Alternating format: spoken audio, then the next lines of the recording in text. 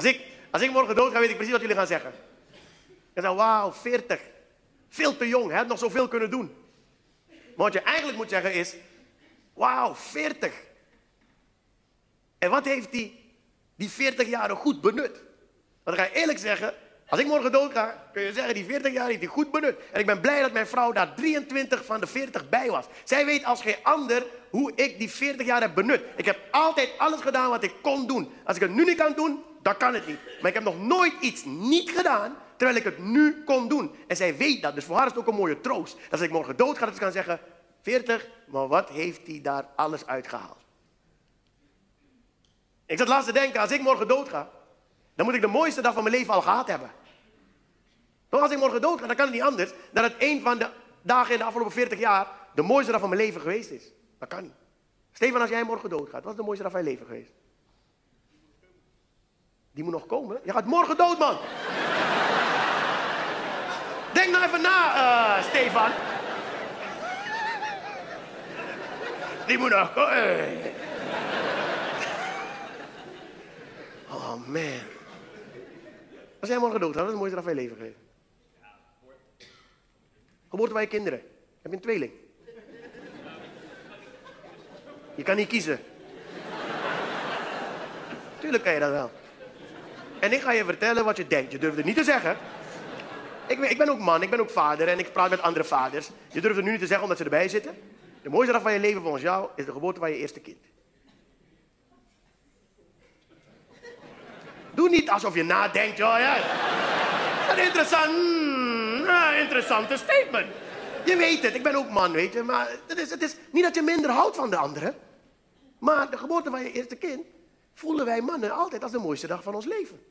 Dat is nou, je durft niet te zeggen omdat ze allemaal hier zitten, vrouw en twee kinderen. het is heel lullig als je het zegt dat die andere denkt, nou papa, nou en ik dan? Wou je me niet, wou je me niet. eigenlijk denk je, eigenlijk niet. Maar ik, ik hou evenveel van jou als van ons eerste kind. Maar en zo voelen we dat. Alle mannen voelen dat. Het mooiste van je leven, geboren je eerste kind. En het is niet echt zo. Het is niet de geboorte van je eerste kind. Je kan het ook niet zeggen eigenlijk. Want als je het zegt, geef je eigenlijk de tweede inderdaad gelijk een achterstand. Toch? Dat kan niet. Weet je dat die om een koekje komt vragen, die tweede, dat die zegt, flikker op! en dat je tegen die eerstgeborene zegt, al deze koekjes zijn voor jou. Flikker op, zeg! Kruimels van de vloer zijn vreten!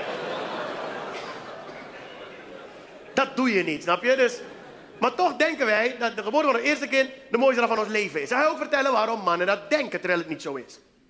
Het is namelijk de eerste keer dat je het meemaakt. Simpel. Het is ook de eerste keer dat je het meemaakt met je vriendin of vrouw. Je hebt zoveel dingen met haar meegemaakt, maar dit nog nooit. Je wist niet dat ze dit kon. Je wist niet dat ze zoveel kracht had. Je wist niet dat ze er zo uit kon zien. Dat is allemaal nieuw.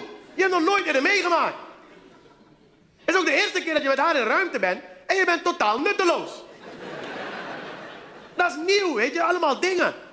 Dat maakt indruk. En je staat daar naast het bed. Tien uur lang als je geluk hebt. Want je hebt ook van 18 uur, anderhalve week. Ik weet niet waar die mee bezig zijn. Maar als je geluk hebt, tien uur lang en je staat daar en het is nieuw en allemaal mensen om je heen. En tien uur lang.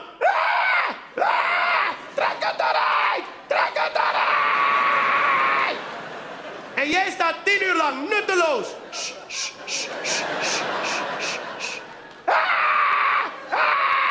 Heb jij ooit zoveel pijn gehad? Oh jawel, nog een keer bij het voetbal als ik op mijn knie gevallen. En dat deed ook best pijn. Flikker op!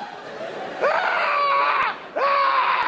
Tien uur lang sta je daar. Voor het eerst. Dit is nieuw. Het is spannend. Tien uur lang ellende. Ze huilt, ze hijgt, ze puft, ze poept, ze plast.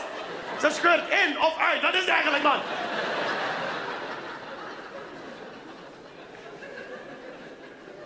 En als na tien uur van ellende daar uiteindelijk een kind uitkomt, die leggen ze in je armen, je kijkt je vrouw aan en die ligt totaal geëxplodeerd. Naar jou te kijken.